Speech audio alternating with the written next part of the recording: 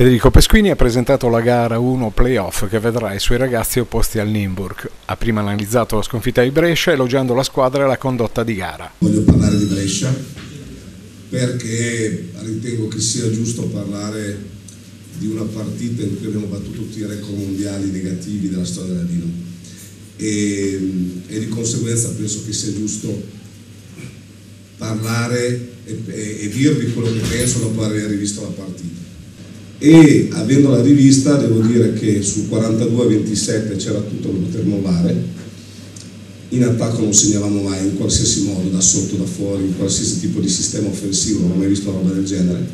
E siamo riusciti ad arrivare a un possesso da loro attaccandoci a una difesa incredibile che mi fa capire che i ragazzi non mollano mai.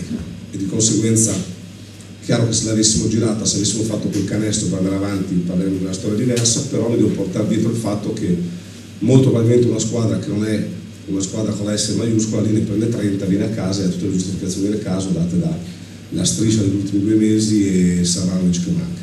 In vista del confronto in Champions League ha sottolineato il fatto che è importante valutare l'ottica delle due gare. Pensiamo a Nimbul, per la prima volta giochiamo una partita dentro fuori, per la prima volta giochiamo una partita che non è di 40 minuti ma di 80 minuti, per cui L'errore più grande che si può fare in questi casi è passarsi la prima partita, quella che giochi in casa, a guardare il tabellone.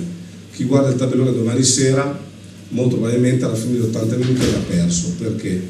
Perché quando giochi una partita di 80 minuti e il primo tempo lo giochi in casa tua, quello che conta è che nel primo tempo che tu giochi in casa tua devi essere più sveglio dell'avversario e dar peso al pallone. E questo è esattamente quello di noi giocatori. Se noi pensiamo che si debba ogni quarto avere un margine, sicuramente a fine del primo tempo saremo sotto. Io penso che domani sera dobbiamo essere bravi a capire che giochiamo contro una squadra che è assolutamente concentrata sul discorso della Champions League perché in campionato vince mediamente di 40-50 punti come è capitato l'altro giorno.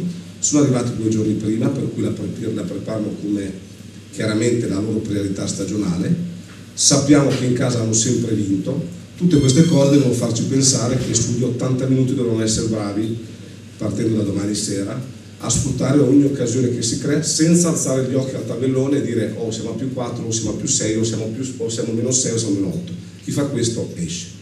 Palla 2 domani sera alle 20.30 per una partita che rappresenta il lascia passare per i sedicesimi della competizione